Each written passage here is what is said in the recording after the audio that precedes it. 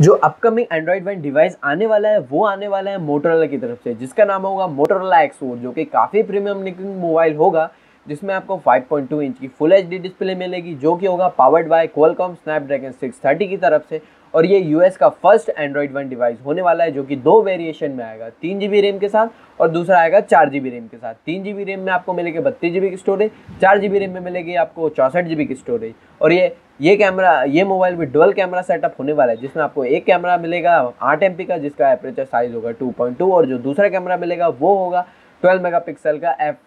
zero के साथ और जो आपको सेल्फी कैमरा मिलने वाला है वो मिलने वाला है आपको सोलह एम का कैमरा तो फ्रेंड्स आपको ये वीडियो पसंद आई तो इस वीडियो को लाइक कीजिए कमेंट कीजिए और शेयर कीजिए और इस चैनल को सब्सक्राइब करना तो बिल्कुल भी मत भूलेगा तो thank you for watching I am Saurabh from tech technically